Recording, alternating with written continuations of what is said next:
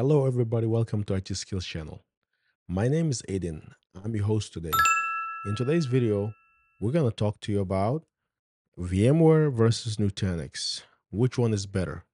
You have been seeing a lot of videos out there, and we're going to try to figure out which one is better. I have Nutanix set up. I have the Nutanix Startup Edition set up, and I want to show you that. But before that, let's talk about some of the good and the bad. So Nutanix and the VMware. So let's just say first of all, number one, what does new VMware had as an advantage? And we're gonna compare the advantage. So the pro of the VMware is gonna be hardware hardware friendly. Hardware friendly. This is a very important for VMware because you can run it in about anything. You can run it on new Intel NUC. You can run it on anything you like. And that's a good pro that the VMware has. On Nutanix,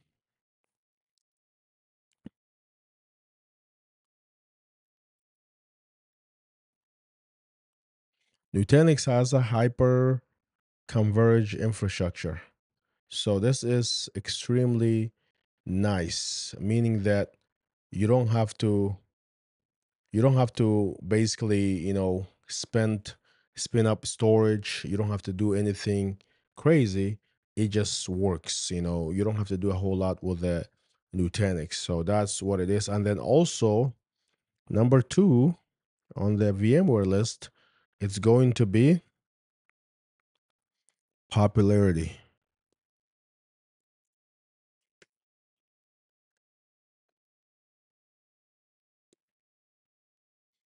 popularity.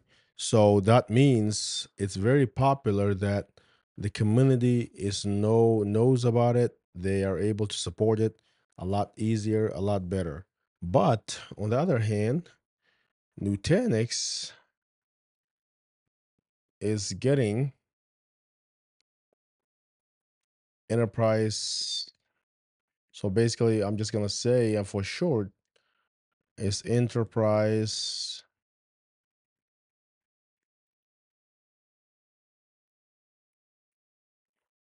preferred.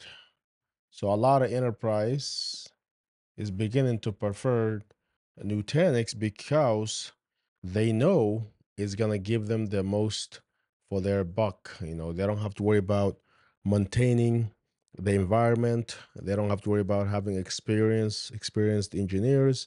They just uh, know that if they, they get this, they have a, gonna have a state of the art support, and so that's what we're gonna do. So let me go ahead and list. So number three for VMware is gonna be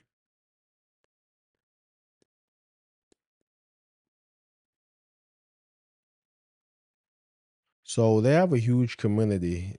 VMware is, and uh, for the community is what makes uh, VMware thick because everybody knows that if you have a problem with VMware, you go to their VMware community there's a lot of experienced people that can guide you to pretty much anything you have going on.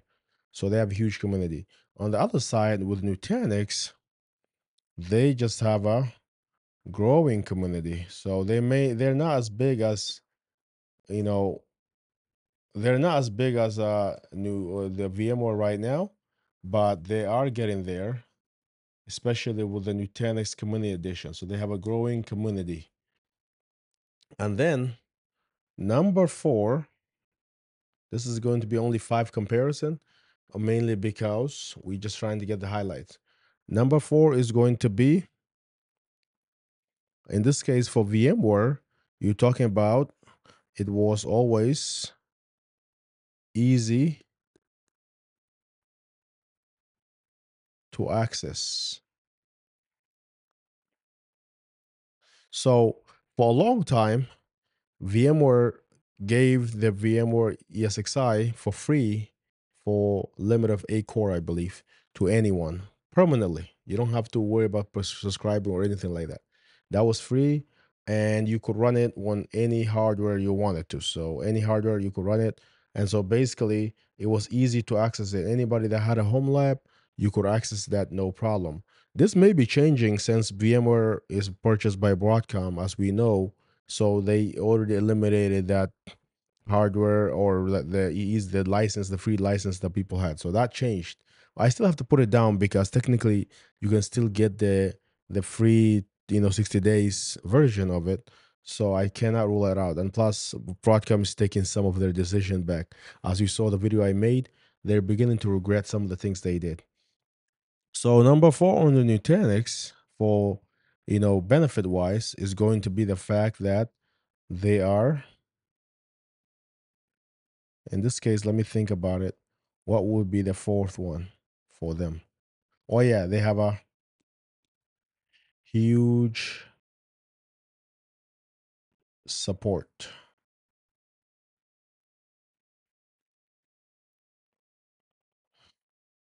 so in this case the support will be actually it's just going to be huge customer support so the customer support is going to be great for Nutanix, especially if you're dealing with enterprise. So I'm just gonna say great customer support.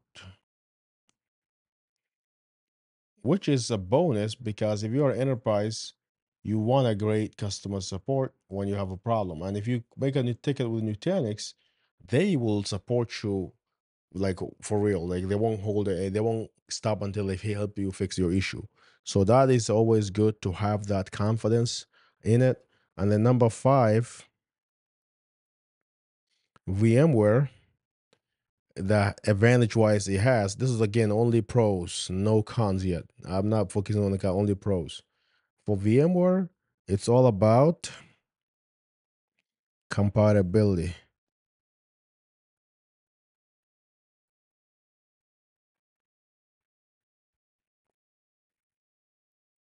Compatibility with pretty much any OS. So if you have Linux, if you have, you know, they have compatibility with anything. So if you have Linux, if you have Windows, basically VMware is compatible and it, it will work fine.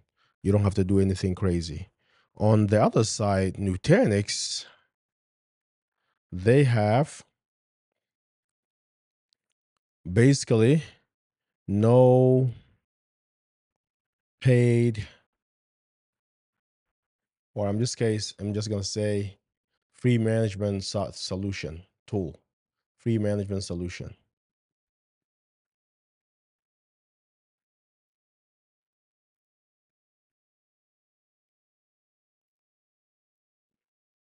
So if you think about it, when you buy or get VMware, if you think about it, when you get VMware, you have to think about the idea of getting a vCenter if you're going big in envi- environment. But if you go with like uh, a Nutanix, you don't have to get a vCenter. You have to get a, something called Prism Element, which is free. It's part of the initial deployment. Or if you want to go for more features, you get something called Prism Central. And those are what your management tool is. And that is all for free. The, uh, unlike vCenter, you have to pay for it. You don't have to pay for the the Nutanix management tool. is free. You can manage the hypervisor all through the Prism solution. So you have Prism, Prism element. I'm just going to put a Prism E and then Prism, Prism Central. Those are your those are your tools that you can manage. In this case, you have, you know, manageability wise, you have to get something. So I just put in a, I gave it the props what you just do. Obviously, I'm gonna go back and maybe do cons as well, but this is just the pro. So this is all pro, the good about Nutanix, or good about VMware and good about Nutanix. So no cons over here. Eventually, on the next video, we can do the cons. But now let me give you a tour of Nutanix because I wanted to show you. This is ultimately something you gotta see. So, so this is my Nutanix right now in my environment. I'm gonna zoom in for you. So over here, you can see I'm running the built-in AHV. That's what I'm running right now. That's the built-in AHV. And it's telling me the summary. And it's pretty much, this is where I'm connected to, I'm just calling my v environment, you know, IT skills. And then underneath of it, you can see I have my health. I have, you know, my health I have my VM, my storage, my network, my hardware, my file server, my data protection, analyst, and analysis, alert, task, LCM, lifecycle management. I have this over here. This is the new Prism element section of Nutanix.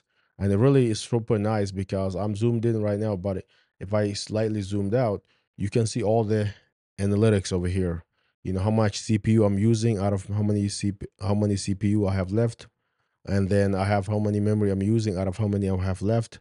And this is my fault tolerant. I can tolerate one node failure.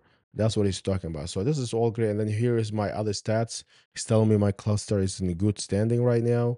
I have 48 VMs. I know it's crazy, right? For home lab to have 48, 48 VMs, it's super crazy. But I do do a lot of testing. I do have a lot of video made. I just didn't have time to edit it. And I occasionally just deploy a lot of things. And then you have your disk. I have nine disks total. And I also have a storage container. That's four. I have three hosts, which means I have three servers. They're all in a three node cluster. So each server is a node, aka three hosts. And then I have storage pool one. I have services one. And then here is would be anything that I get warning, critical alert. So I have three warnings. This is all old warning, and then that's it. So and then this is obviously my username, etc. So this is essentially your Nutanix, you know, Prism element, and it tells you everything that I need to know about. So the next thing you got is in Nutanix is gonna be your Prism Prism uh, Central. This one I have to log in because I ha it logged me out. It logs me out quicker than anything else. Let me go ahead log in and come back here. All right, so this is uh, logging into the Prism Central, and you can see over here, I got pretty much everything. I got my, you know, my dashboard that tells me slightly different than what we saw earlier, but you still got your CPU usage, cluster CPU usage. You got your task over here and then the name of the cluster, your dashboard. Everything is still ideally the same, except you get additional a lot of features over here. If you click on the drop down menu, which I'll zoom in, you get a host of features. You got your admin center, you got apps and marketplace, you got cloud infrastructure, you got your inf- you know infrastructure. That's where I'm at right now. I have intelligence.